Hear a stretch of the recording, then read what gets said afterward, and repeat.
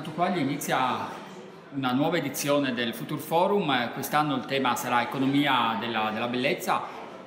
Di cosa si parlerà e quali saranno insomma, i punti salienti di questa edizione?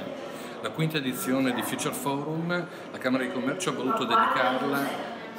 ha voluto dedicarla alla, ai siti UNESCO, alla bellezza dei siti UNESCO e alle potenzialità economiche che eh, rappresenta una, una, regione che con ben cinque siti UNESCO, tra quello naturalistico di Forni di Sopra, con Aquileia, con eh, Palmanova, con Cividale, rappresentano una potenzialità non solo di nuova economia turistico, turistico-culturale, anche identitaria, ma anche delle nuove professionalità per le giovani generazioni, perché nell'ambito delle nuove tecnologie del digitale, nell'ambito della promozione, del marketing, dell'organizzazione in forma di reti di parte di questo servizio, lì c'è possibilità e c'è necessità di nuove professionalità.